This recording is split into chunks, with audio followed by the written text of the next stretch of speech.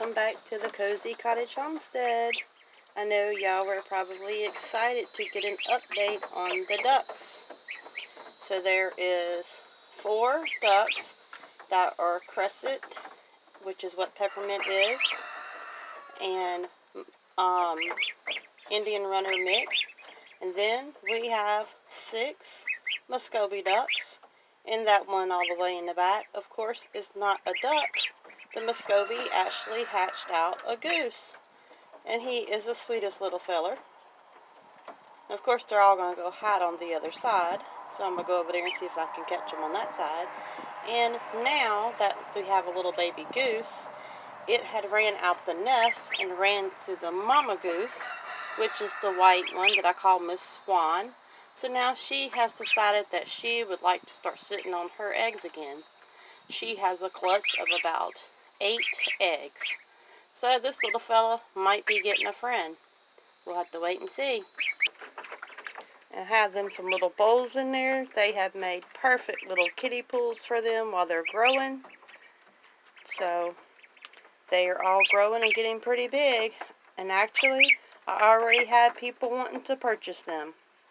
So it won't be long, and we probably won't have but one or two little ducklings left of course, I'm keeping the little goose right there, but we'll have to see how it goes.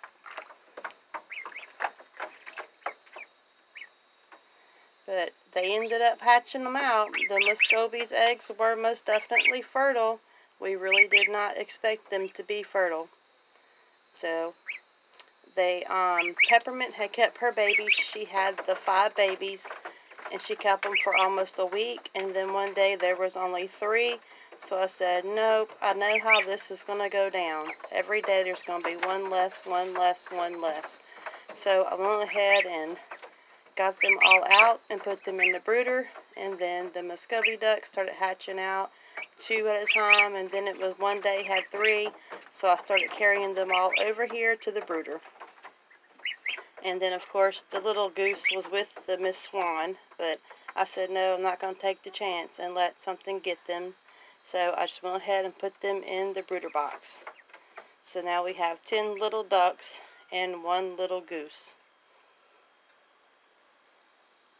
See if I can get it past this chicken wire so y'all can see them. Of course, they're all like camera shy.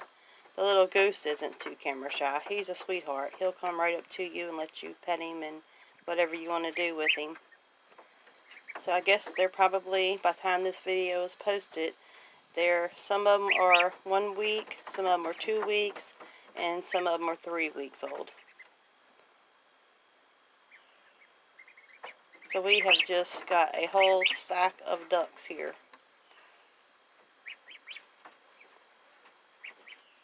So thanks for watching, and thanks for joining me today, and farewell, Homestead family, friends, and neighbors from the Cozy Cottage Homestead.